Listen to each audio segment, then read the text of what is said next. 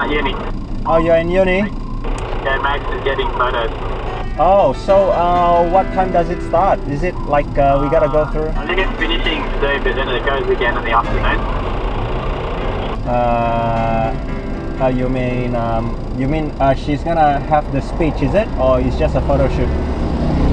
Photos. Oh. The uni. Oh.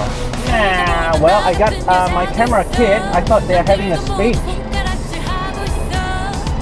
Oh, yeah, they do that, but that's, that's it. That's uh. Only, you have to have a ticket to go in.